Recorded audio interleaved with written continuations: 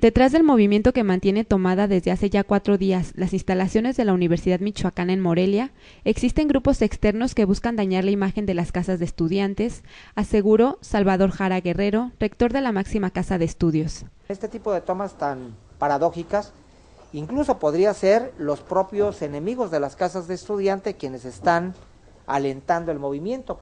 Dijo que la universidad no apelará a la resolución de la PGR por no contar con elementos que permitan hacer señalamientos directos de quienes utilizaron explosivos en los hechos pasados. Nosotros no tenemos más elementos de prueba que los que nos pasaron los medios. Yo no me había enterado de que habían que incluso explotado ahí una, una bomba Molotov. Y yo cuando me hablaron yo les decía que no era cierto. Y mala, digo, desgraciadamente yo me equivoqué.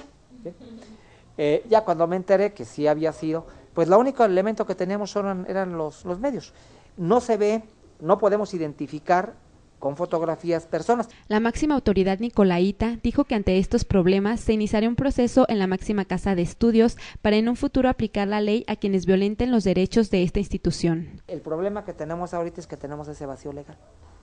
No, no, no podemos, no, pode, no podemos, este, no tenemos una manera eh, acorde con las nuevas reglas de, derechos humanos, etcétera, no, no tenemos un procedimiento acorde para actuar. El estatuto que tenemos es de hace más de 50 años.